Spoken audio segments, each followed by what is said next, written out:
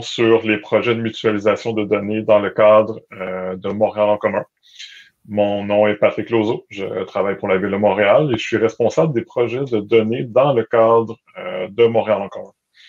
Avant de commencer, j'aimerais reconnaître que moi et les panélistes sommes sur un territoire autochtone millénaire, lieu de rencontre et de diplomatie entre les peuples, ainsi que du traité de la Grande Paix.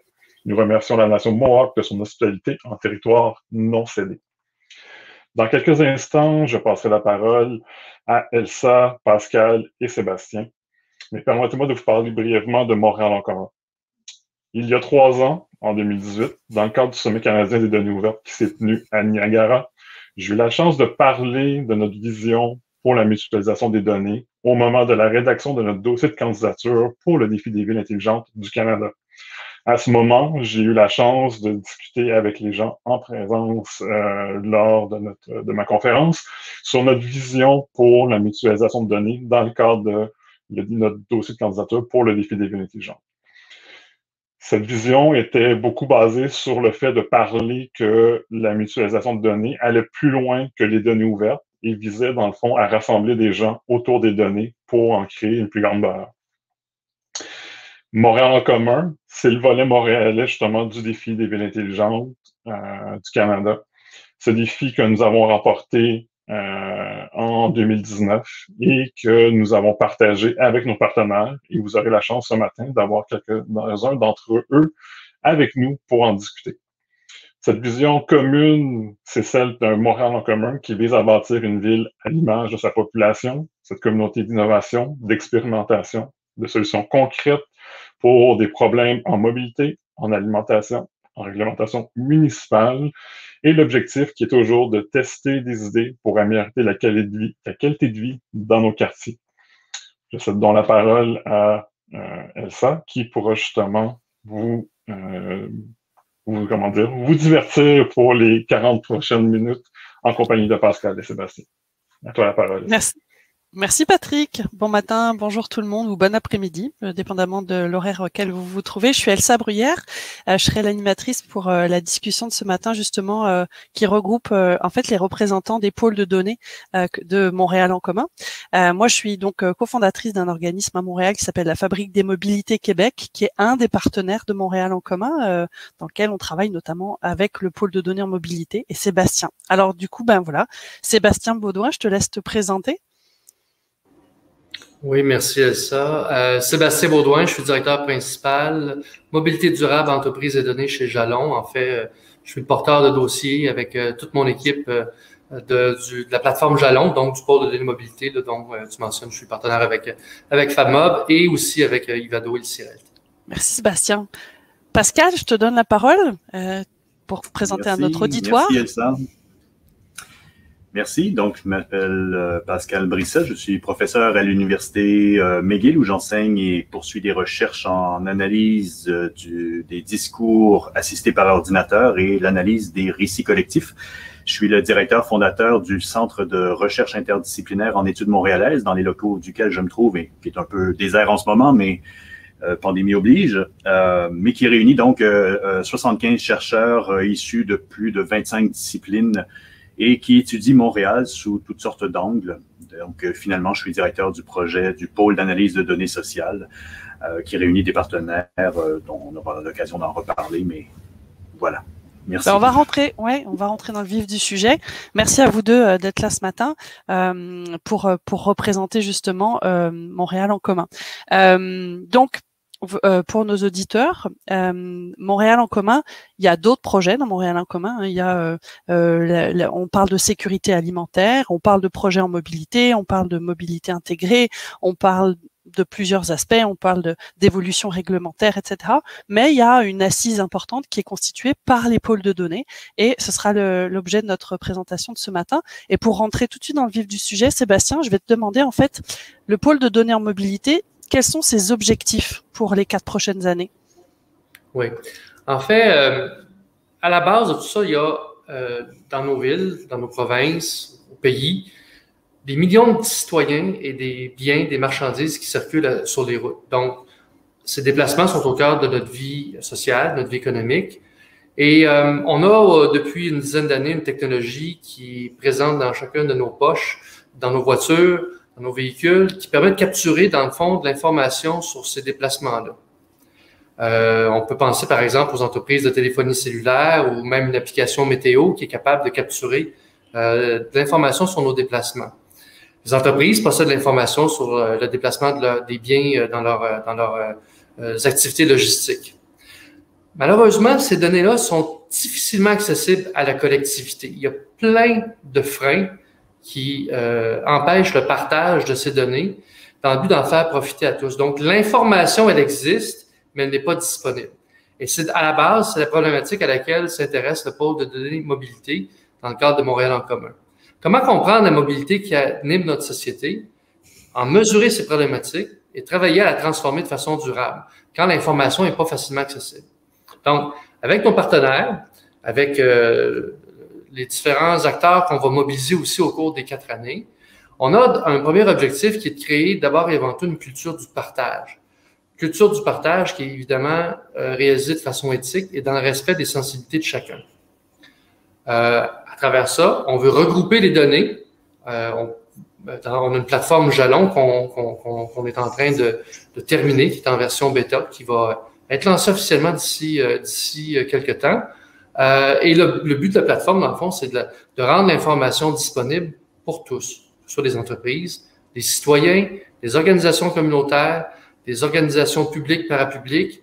En fait, n'importe qui a un intérêt à connaître euh, ce qui se passe comme, comme événement de mobilité euh, dans son entourage.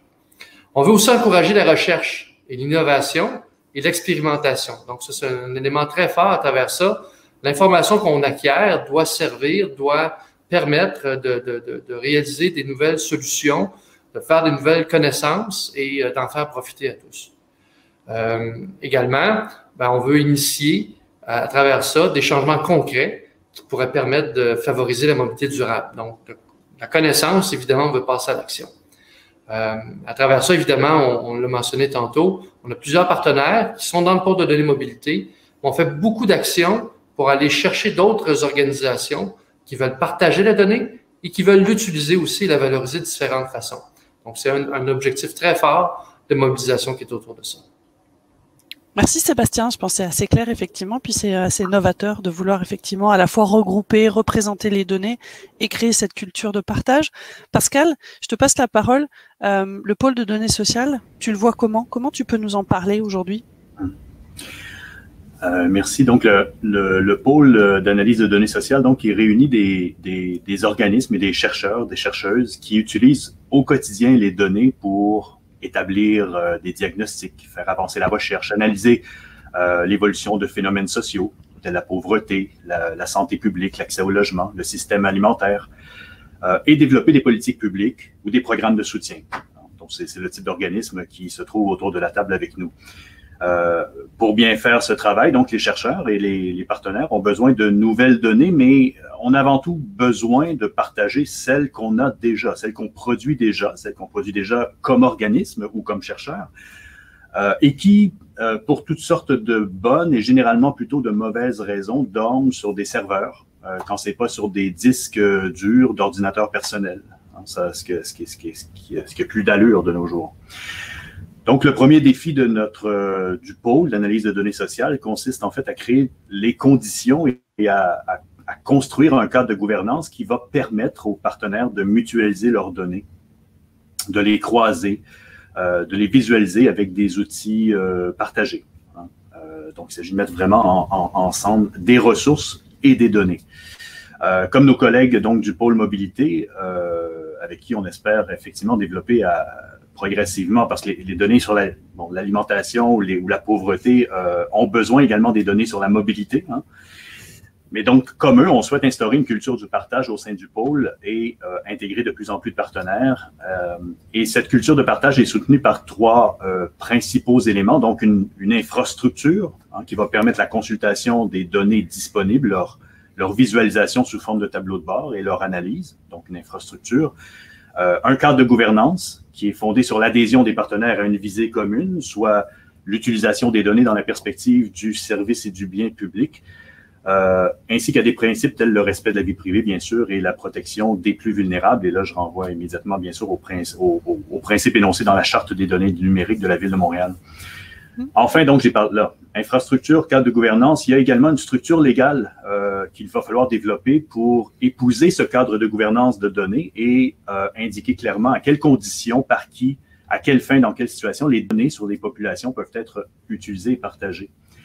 Donc, ce travail se fait euh, avec la contribution et en collaboration, donc avec différents partenaires. Je les, je les nomme ici. Donc, le Centre de recherche interdisciplinaire en études montréalaises qui coordonne les travaux du pôle, la Direction régionale de la santé publique, la DRSP, le Bureau de la diversité et de l'inclusion sociale de la Ville de Montréal, Centraide du Grand Montréal et le Conseil SAM, Sécurité alimentaire à Montréal.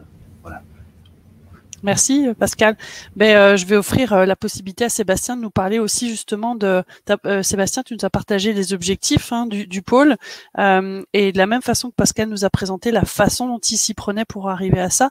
Ben, qu'est-ce que qu'est-ce que le pôle finalement, qu'est-ce que Jalon, la bibliothèque constitue pour arriver à, à lever ces obstacles dont tu parlais et créer une culture de partage, regrouper des données? Oui. En fait, il euh, faut travailler sur plusieurs fronts. Hein. Mm-hmm. On n'est pas dans une, approche très linéaire. Il faut travailler euh, sur, différents fronts avec les, partenaires et l'équipe. Donc, euh, dans un premier, temps, on doit réduire ces obstacles au partage. C'est vrai, on sait, tout le monde reconnaît la valeur de partager des données, surtout celles des autres. Donc, il faut vraiment casser cette, cette inertie, si on veut, et trouver des stratégies.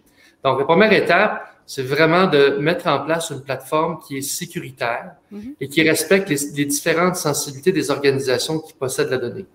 Donc, il y a des sensibilités commerciales dans certains cas, il y a des sensibilités éthiques, des sensibilités citoyennes. Donc, avec, avec la plateforme, on, on donne la flexibilité au propriétaire de données qui veut partager, qui veut contribuer à la plateforme, euh, vraiment de paramétriser, dans le fond, les différents, euh, les différents euh, droits et utilisations qui peuvent être faits de la donnée de façon très euh, très atomique, là, dans le fond, euh, jusqu'à l'utilisateur près ou de façon euh, globale. Donc, euh, on a vraiment cette possibilité de faire, faire ce calibrage-là.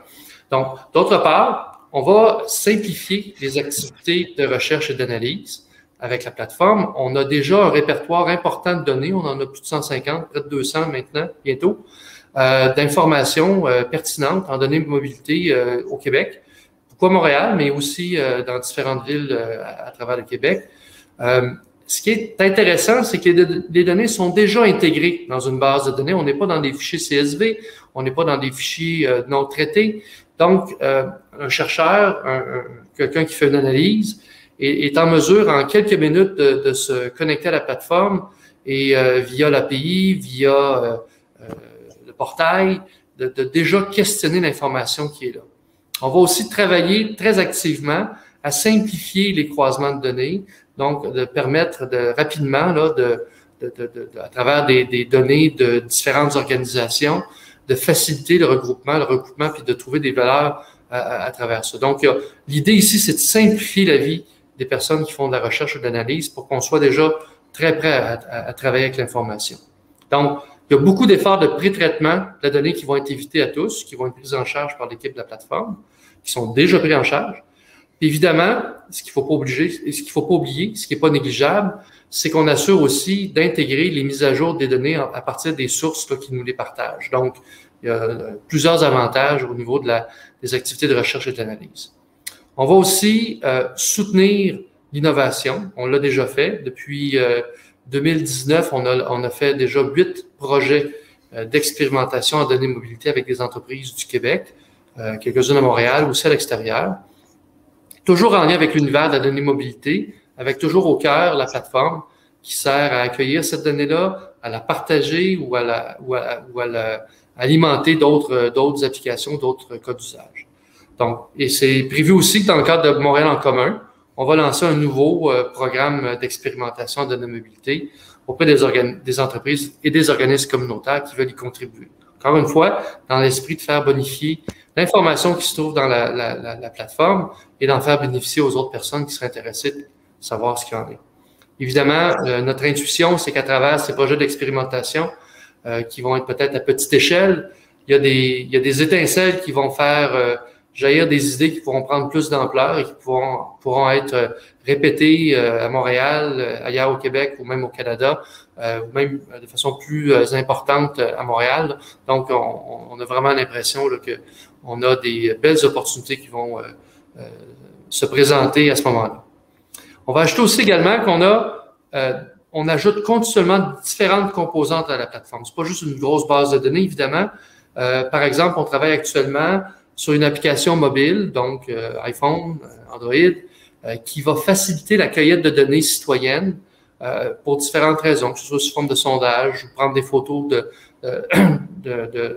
d'infrastructures urbaines, etc., dans le but de présenter l'information dans la plateforme et de pouvoir la valoriser de différentes façons. Euh, donc, c'est une information qui peut être aussi utilisée pour euh, euh, prendre des décisions. donc, chaque composante qu'on a va être conceptualisée de façon à être utilisable pour réaliser d'autres cas d'utilisation. Donc, de notre application mobile, on a tout à fait la possibilité de développer d'autres d'autres composantes par la suite qui peuvent être utilisées dans d'autres types de projets. C'est le grand avantage de considérer la plateforme Jalon comme un actif collectif. Et euh, grâce à Montréal en commun, ben, on a effectivement euh, euh, le moyen de nos ambitions pour pouvoir partager tout ça. Je dois aussi ajouter que dans, pour répondre aux objectifs du pôle qui sont, qui sont importants, il y a un élément qui est, important, qui est majeur, c'est la mise en place d'une équipe de personnes expertes en, dans le domaine technologique des données. je prends la peine de nommer mes collègues Akshal, Amine, Carole, Chris, Karim, réalisent tous un travail colossal qui va nous mener au lancement d'ici la fin de l'année euh, de la plateforme avec euh, nos différents partenaires. Merci Sébastien. Euh, ben moi, ça me donne le goût de vous demander à tous les deux, puis je vais commencer par Pascal pour qu'on continue le. finalement, Pascal, aujourd'hui, c'est quelles données dont on parle dans ce dans ce pôle de données sociales? Et puis, à la limite aussi, si tu as des exemples, voilà, des exemples de projets éventuellement, vous commencez à viser. Absolument. Euh, alors, dans un premier temps, en fait, il euh, faut, faut, savoir, le, le, pôle de données sociales est, part, part de zéro. C'est-à-dire, contrairement, par exemple, à, à Jalon, qui, euh, qui, qui, avait déjà une aire d'aller euh, au moment d'entrer dans, dans, le, dans le Montréal en commun, nous, on a, on a, on a dû commencer par prendre, faire connaissance avec les gens, en fait, se, se, se, demander quels étaient les besoins et ainsi de suite. Donc, on ne part pas de, la, de, de, tout à fait de la même étape. Euh, mais dans un premier temps, donc pour la mise en place de la plateforme euh, euh, commune, on va devoir utiliser des données publiques qui ne vont pas poser d'enjeux éthiques hein, et, ou de sécurité, mais qui en même temps vont être géo et chrono-référencées. On pense par exemple aux données du 3 à 1 sur les services municipaux ou encore à celles du 2 à 1 sur les programmes et services de proximité à Montréal, dans le Grand Montréal. Euh, et comme on a ciblé la sécurité alimentaire comme thématique de, de, de départ, on a intégré euh, au, à la table des partenaires euh, donc de, le Conseil SAM, donc qui ne faisait pas partie initialement euh, du, euh, du pôle d'analyse de données sociales, mais le Conseil SAM qui travaille évidemment euh, euh, sur, sur d'immenses ensembles de données sur l'alimentation et la sécurité alimentaire, mais également des chercheurs euh, de Montréal, notamment ceux du, du Collège Dawson, réunis autour de Anna Lisa Onio et du groupe Food Justice and Sustainability, qui travaille depuis plusieurs années donc sur des données liées à la sécurité alimentaire. Donc, comme l'alimentation constitue la première thématique que nous avons choisi pour mettre en place le prototype, ben, du coup, euh, il nous paraissait très important d'intégrer dès le départ des personnes qui travaillent au quotidien avec ces données, euh, n'ayant pas particulièrement personnellement de, de, de, de spécialisation euh, sur, sur, en alimentation. Donc, en plus, en plus de ces données de terrain, on a constitué euh, assez rapidement un corpus euh, exploratoire pour l'instant, donc de données textuelles euh, composé d'environ 50 000 articles de, de, presse publiés à Montréal entre 2005 et 2020 qui portent spécifiquement sur l'alimentation. Donc, on va explorer ces données, on va les analyser, on va extraire les topics euh, liés à l'alimentation, on va observer les sentiments et les valeurs qui, euh, qui sont liés à l'alimentation. Euh, on va interroger avec les partenaires les enjeux clés qui s'expriment dans, ce, dans ces jeux de données-là. Euh, enfin, on, on travaille en collaboration avec euh, un autre centre de recherche, le McGill Center for the Convergence of Health and Economics, donc qui est dirigé par euh, la chercheuse Laurette Dubé. Elle et son équipe donc ont construit déjà une plateforme d'agrégation de données appelée euh, hein, pour Synthetic Ecosystem qui permet la reconstitution de populations synthétiques à partir de données de recensement. Donc, euh, on, vise à, assembler différents modules, dont ce module-là, en fait, qui, est déjà extrêmement ambitieux et qui, euh, est fondé sur, sur le, le, la, du, euh, big data. Voilà. Super, vraiment merci. C'est assez intéressant de hâte de voir vos premiers retours sur cette question d'analyse textuelle euh, sur, la, sur les aspects de, de sécurité alimentaire. Euh, on voit comment on peut éventuellement contribuer à ce que vous êtes en train de faire. Merci de commencer à donner un peu de réalité à, à, à une architecture qui est à la base des, plutôt très technique et comme tu disais de gouvernance, mais euh, qui a, qui a une, une, réalité très très concrète. Sébastien, est-ce que, est-ce que de la même façon sur le pôle de données en mobilité, euh, tu peux nous donner un, une partie de, de, des types de données que, que vous allez aller oui. chercher? Voilà. En fait, euh, à l'origine, les toutes les données qui sont en lien avec les déplacements nous intéressent directement. Donc, euh, euh, destination origine, c'est intéressant, euh, mais c'est aussi intéressant lorsque la donnée elle est contextualisée. Quelle était l'origine du déplacement? Pourquoi, euh, Quel était le contexte? Quelle était la raison pour laquelle on se déplaçait? C'est toujours une, une, information qui est pertinente. Il y a à travers ça donc des données indirectes, donc des données de la SAQ, par exemple sur les sur les des permis ou c'est des accidents qu'il peut y avoir. Euh, des données météo, parce qu'on peut pas lire des données de déplacement sans euh, s'interroger sur euh, qu'est-ce qu'il faisait comme journée, cette, euh, qu'est-ce quelle température il faisait cette journée-là. Euh, donc, ça nous amène. Euh, après ça, on est intéressé avec les données de transport en commun. il y a certainement des belles opportunités de benchmarking à faire au niveau des, des, des, des de la performance des transporteurs collectifs. Euh, évidemment, on a beaucoup de données qui euh, nous viennent de Bixi, qui partagent euh, leurs données. On a de l'information euh, qui nous arrive de l'Agence de mobilité durable à Montréal au niveau du stationnement. Donc, vraiment une panoplie de, données. Évidemment, nous, ce qui nous intéresse, c'est de passer à la deuxième étape de ça. C'est évidemment, on travaille avec la donnée ouverte, un peu pour les mêmes raisons que Pascal exprimait tantôt, dans, un, dans le contexte de, vouloir faire des choses de façon prudente et éthique et dans le respect des sensibilités. On travaille actuellement dans une démarche qui est très euh, euh respectueuse, donc avec les données ouvertes. Mais évidemment, la plateforme qu'on qu développe aura la possibilité, comme je le mentionnais tantôt, de pouvoir calibrer euh, l'accès à des données qui pourraient être elles, un peu plus sensibles. Donc, une entreprise ou une organisation publique qui possède l'information euh, un peu plus sensible, elle pourrait, par, par exemple, le partager de façon euh, euh, sécuritaire à un acteur académique, par exemple, qui veut faire une recherche et vraiment limiter les possibilités de téléchargement ou les possibilités de, d'accès de, de, à l'API euh, de façon très, très euh, granulaire. Ce qui fait que, éventuellement, on aimerait pouvoir aussi ajouter dans ces données-là d'autres informations socio-économiques qui pourraient être pertinentes sur la démographie. Ça fait voir des, enjeux de mobilité différents, même si on, on a ces informations-là qui, euh, qui peuvent être euh, croisées. Euh, données économiques, est-ce que le taux de change a un, un impact sur la quantité de déplacements qu'il y a dans la ville? Donc, c'est un exemple d'information complémentaire qu'on veut aller chercher. Donc, vraiment une, une, perspective très large et un peu comme le Pascal, Pascal le disait tantôt, effectivement, on, il y aura certainement des croisements aussi à faire entre nos deux plateformes, euh, toujours dans le respect des sensibilités, mais je pense qu'il va y avoir une, information nouvelle qui va pouvoir en émerger à travers ça. Merci.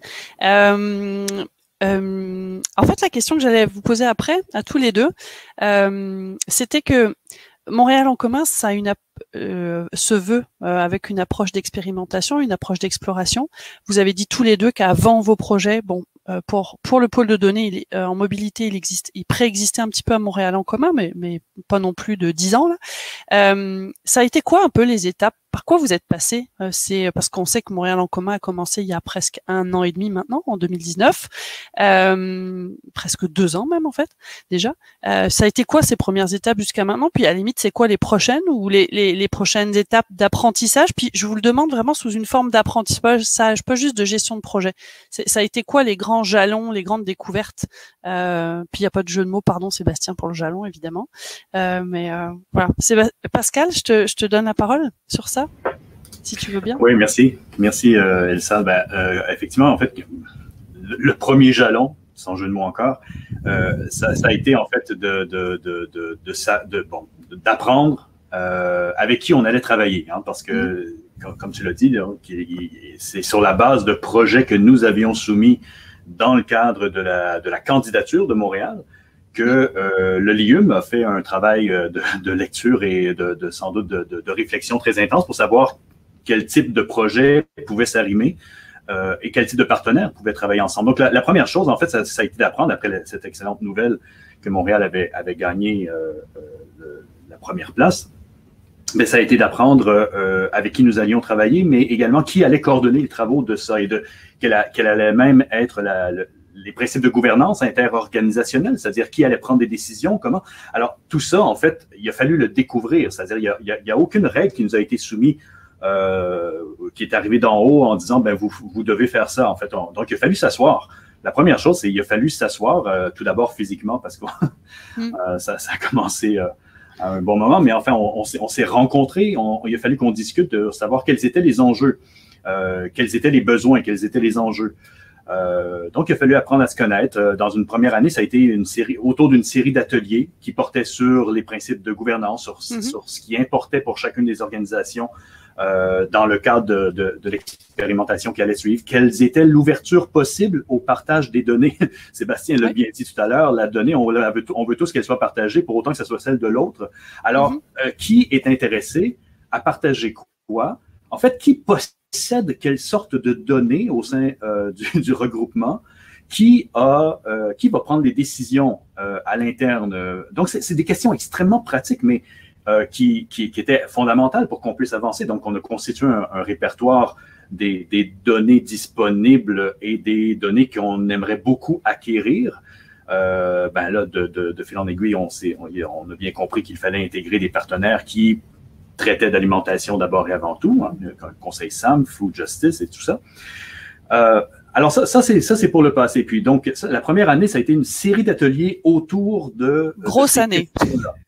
Oui, oui, ben c'est ça. Euh, c'est la, logistique, si je puis dire.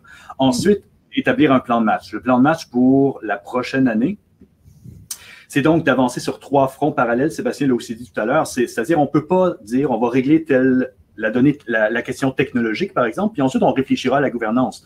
On ne peut pas faire ça. Euh, mm-hmm. Les deux doivent s'emboîter. De même pour la structure légale. Donc, et même chose, on ne peut pas commencer par la gouvernance. C'est trop abstrait on va prendre des décisions, oui, mais sur quelle sorte de données. Donc, il faut d'abord se poser la question de quelle sorte de données est-ce qu'on parle, quelles sortes de données vont être ingérées dans les euh, processus d'analyse, dans les flux euh, d'analyse? Et donc, donc pour, pour savoir quelle décision et qui doit prendre la décision, encore faut-il savoir de quoi est-ce qu'on parle.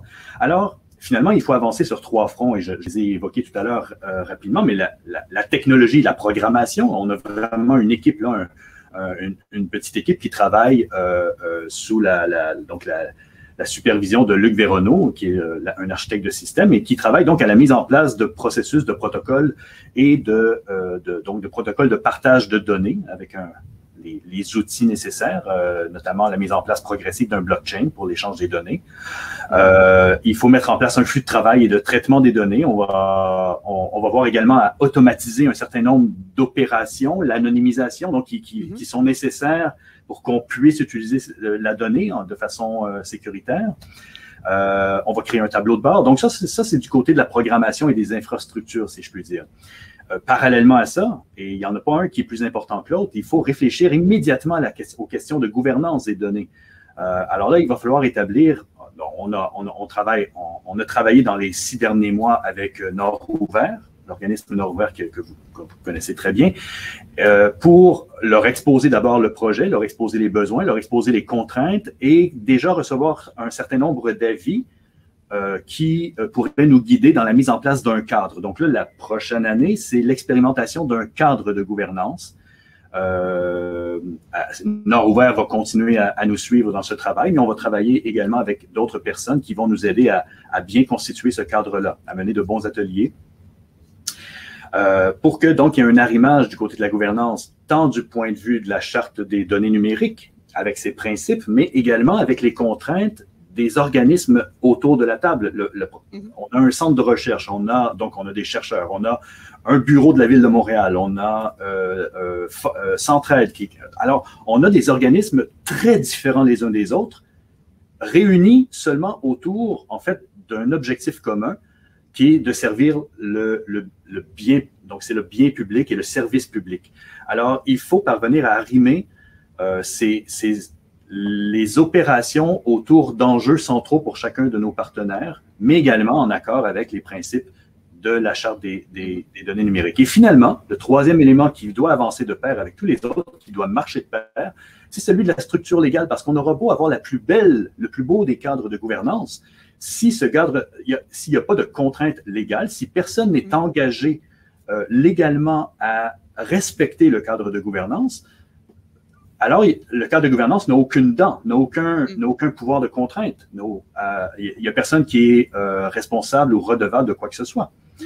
Euh, alors, le, la structure légale, pour l'instant, donc le, le, modèle le plus intéressant euh, qui puisse épouser ce, cette, ce cadre de gouvernance à constituer, de même que les, les infrastructures et les mm. opérations, c'est la, la, fiducie de données à utilité sociale. Donc, ce, ce modèle-là, il existe déjà dans le Code civil. C'est fantastique et il a été très peu exploité, mais il est, euh, on le regarde euh, avec beaucoup d'intérêt. Pas seulement nous, évidemment, mais on est très chanceux au Québec d'avoir cette structure-là qui est particulière et qui est un peu différente du Data Trust euh, euh d'origine britannique. Et donc, il faut, on, va travailler avec euh, notamment euh, Anne-Sophie Hulin, qui est une spécialiste euh, de, de, des fiducies de, de, données à utilité sociale. Donc, on va travailler avec elle cette année pour juriste. bien tenter d'arrimer les trois éléments. Super. Ouais. Euh, donc, donc, ce que je comprends, c'est que finalement, si je résume, puis je te laisse Sébastien continuer après ça, euh, vous êtes face à une situation où il y a quand même une certaine complexité dans les différents paramètres et il est intéressant pour vous d'essayer de les travailler vraiment plus par euh, boucle d'apprentissage et de validation et de mise en place de façon parallèle que, je dirais, de façon euh, euh, euh séparée parce qu'elles ont trop d'interactions entre elles et elles peuvent trop jouer les unes sur les autres pour qu'elles puissent être séparées les unes des autres. Merci, euh, super euh, partage. Euh, Sébastien, je, en quelques minutes, en cinq minutes, euh, la, la, même chose, ça a été quoi un peu les, les apprentissages ou les phases d'expérimentation de, de la bibliothèque? Oui, en fait, euh, c'est assez intéressant. Il y a comme des phases là-dedans aussi. Là. Disons que la première année, nous, c'est en 2018 qu'on a débuté euh, la démarche. Euh, la première, première, il y avait comme, faut, faut voir comme une espèce de deux, euh, deux rails là, qui se suivent et qui interagissent euh, fréquemment. Une dimension donc très technologique, une dimension très euh, écosystème, comprendre ce qu'il ce qu en est avec la donnée. Donc, évidemment, quand on, on, on, reçoit un financement pour lancer une plateforme de données, donc il y a une dimension très claire, faire des choix technologiques qui, qui, qui s'imposent. Il n'y a pas beaucoup d'expérimentation à faire. Euh, toujours très orienté le plus possible vers euh, euh, l'open source, puis donc d'avoir de, de, des solutions les plus ouvertes possibles. Donc, c'est déjà en soi une, une très grande orientation qui, qui facilite beaucoup de décisions.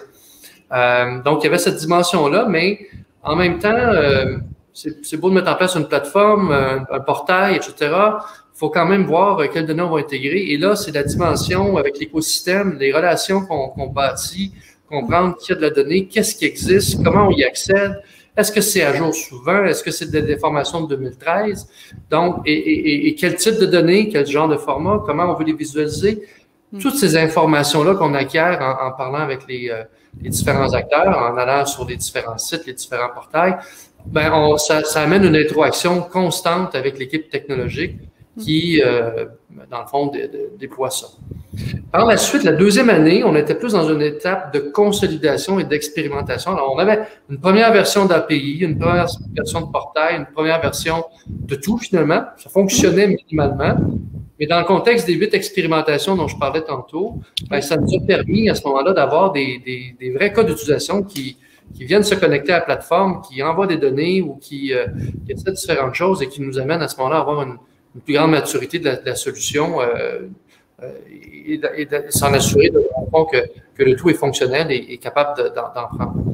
à, travers ça, en même temps, ces expérimentations-là, ben, on se questionne sur les cas d'usage. On commence à entrer, euh, en 2019, on commence à rentrer euh, dans l'univers de Montréal en commun. Euh, et, donc, on commence à s'arrimer avec les différents partenaires. Donc, on, crée des liens, on, met de l'avant des différents, différents cas d'utilisation qu'on vient s'assurer qu'on est capable de rencontrer. Donc, tranquillement, pas vite, on fait des petits projets pilotes, des petites preuves de concept. On vient présenter, qu'on qu'on regarde si effectivement ça fonctionne. Vous aimez ça? Oui. Qu'est-ce qui manque? Qu'est-ce qu'on rajoute? Donc, c'est vraiment une interaction constante. Et dans la dernière année, maintenant, depuis avec, euh, avec Montréal en commun, l'équipe s'est formée, je, les ai nommés tantôt. Mm-hmm. Alors, on a notre cellule de livraison actuellement qui est très, très rapide. Donc, on, se crée, dans le fond, euh, une vision de maturité technologique qui est fonctionnelle euh, pour l'année 2021. Et ensemble, donc, on procède de façon itérative euh, à, faire des livraisons mensuelles. Avec ça, évidemment, à chaque fois qu'on fait une livraison, on se questionne, on a-tu de bonnes choses, est-ce que c'est des bonnes priorités? Puis évidemment, ce qui est merveilleux avec nos différents partenaires, c'est qu'il y a toujours des bonnes idées qui arrivent. Alors, euh, on, est en mesure de, de, de, de, modifier les priorités et d'ajuster des choses pour pouvoir euh, permettre à tout le monde d'avancer avec une plateforme qui fonctionne. C'est super. Euh, et, j'en suis euh, une des partenaires, donc euh, j'ai le plaisir de faire des projets pilotes avec avec vous et de livrer chaque mois des incréments à cette plateforme. Il y a une question dans le chat et et puis ça rejoint une question plus générale que je voulais vous poser à tous les deux. La, question dans le fil de conversation, c'est comment euh, comment on va impliquer les Montréalais dans vos projets en fait de partage et de valorisation de données, mais, plus généralement, pas juste les Montréalais. En fait, moi, j'ai plus le carrément le goût de vous demander euh, si quelqu'un veut travailler avec vos pôles de données, avec vos bibliothèques de données. En fait, aujourd'hui, quelles opportunités il a, comment il vous rejoint? Euh, voilà, soyons très concrets. Est-ce que vous attendez à ce que des gens vous contactent? Qu'est-ce que qu'est-ce que vous voulez l'un et l'autre? Pascal te donne la parole, si tu es confortable. Oui, oui, merci. Je, je, je t'en prie. Il n'y a aucun stress. Euh... Merci. Ben, euh, en fait, c'est une belle question parce que euh, si on fait tout ça, au final, c'est pour que ça serve, c'est pour que ça serve euh, le, citoyen, les, la, la, citoyenne. donc, dans un premier temps, c'est certain que nous, on travaille avec des organismes qui eux-mêmes sont en lien avec avec des citoyens, avec des, des groupes communautaires. Euh, donc, l'objectif premier de cette, de cette plateforme-là, c'est d'abord de servir ceux qui servent. Donc, on est, on est, euh, on travaille avec des intermédiaires, des intermédiaires importants euh, à tous égards. ensuite, la, la, la, plateforme, il va y avoir, et c'est sûr qu'il va falloir y aller à la pièce, c'est-à-dire ça fait partie des expérimentations qui viennent. Quelles sont les couches de données qu'on peut rendre publiques parce qu'elles sont déjà publiques, mais que nous, on peut les fédérer à travers un répertoire. Donc, a priori, le répertoire qui, qui va afficher les données disponibles, euh, ce répertoire-là n'a pas à être caché, c'est-à-dire les, il pourrait y avoir des données. Euh, c'est un répertoire qui n'afficherait pas les données en tant que telles, mais plutôt euh, qui constituerait une sorte de bibliothèque avec un catalogue. Hein. Donc, euh, on n'a pas accès à la donnée en tant que telle. Ensuite, certaines pourraient être mises euh, euh, complètement en, mode euh, accès public parce qu'elles le sont déjà, mais nous fournissons un accès directement à ça avec des outils de visualisation, par exemple, mhm. donc à travers un tableau de bord. Donc, il y aura, il y aura des couches, mais on peut pas dire qu'on va vers la donnée ouverte complètement parce qu'un partenaire pourrait dire, ben moi, j'ai un type de données, j'ai 500 euh, données de, de, de, j'ai tel jeu de données, je voudrais le croiser avec tel autre jeu de données pour savoir ce que ça donne. Euh, ça ne veut pas dire que, bon, si le résultat est une agrégation euh, qui puisse être diffusée, mm-hmm. ouverte, parce qu'elle elle, elle, répond absolument à tous les critères de, de, gouvernance et de protection de la vie privée, Mhm. Parfait, elle va être intégrée euh, dans le répertoire, cette donnée-là. Mais la donnée initiale en tant que telle, brute du partenaire, celle-là va devoir rester euh, parce que chaque partenaire va avoir des contraintes en tant que telle. Donc, il y aura ces accès publics et à la table, parce que le morceau auquel je que j'ai pas pu présenter tout à l'heure, c'est le, le processus euh, d'intelligence collective. On souhaite amener autour de la table donc des, des les, les, membres donc issus de, de chacun des, des, organisations à discuter de la donnée et à savoir quelle est sa valeur, à se questionner sur la valeur, les intérêts, les questions pertinentes. Et dans ce dans ce, ce, ce, ce processus là, nous souhaitons intégrer des personnes qui pourraient nous faire voir euh, soit faire apparaître certains biais, soit encore nous, nous lancer sur des pistes extrêmement intéressantes pour repérer des enjeux clés euh, pour certaines populations. D'accord. Donc, si je comprends bien, un, euh, peut-être travailler avec vous sur certaines données, d'ores et déjà. Deux, euh, vous accompagner, vous soutenir, s'impliquer à mieux établir encore euh, le cadre de gouvernance, le cadre d'éthique, euh, le cadre technique, en amenant euh, des enjeux, des biais, etc. etc. Ben, merci, merci beaucoup Pascal. Merci. Sébastien, il te reste trois minutes. Oui. Donc, comment on contribue à la bibliothèque de données Oui. Jalon Très simplement, on parlait d'une contribution citoyenne. Alors, dans un premier cas, il faut mentionner que dès maintenant, sur jalonmtl.service, quiconque peut demander un accès à la plateforme. Donc, mhm. c'est déjà disponible. Euh, évidemment, à l'heure actuelle, on est dans des données qui sont brutes, donc c'est pas tout le monde qui a les habiletés techniques pour pouvoir euh, euh, naviguer avec ça. Quoique de plus en plus maintenant, les gens maîtrisent Excel, donc il y a une possibilité de télécharger ça en fichier, fichier Excel. Alors plusieurs des jeux de données sont disponibles en, format Excel, et, donc déjà il y a déjà une façon d'interagir avec la donnée. Il y a aussi un, outil de visualisation de base euh, sur, le portail qui est déjà disponible. Donc, déjà là, ça, c'est déjà une, façon d'y accéder. C'est étant dit, on s'entend, euh, c'est brut et c'est, euh, ça permet pas vraiment d'explorer les connaissances qui sont là. Donc, c'est un des objectifs en 2022 de Jalon, c'est de mettre en place un portail citoyen qui va permettre justement de présenter l'information dans ces données de façon très euh, très euh, visuelle, très euh, interactive. Plus travaillé, plus mâché, plus visuel. Mhm. Et dans toujours dans l'esprit de pouvoir représenter la réalité mobilité que les données présentent, mais la réalité de la personne, de son, de son entourage, et, et, de pouvoir comprendre les conséquences de différents changements ou anticiper des changements, et, etc. Donc, l'idée ici, c'est vraiment d'y avoir accès de, de façon très simple. Puis évidemment, euh, quiconque a des idées à travers euh, l'information qui est là, euh, a des questions qu'on aimerait pouvoir répondre avec les, les données, bien évidemment, Jalon pourra être présent.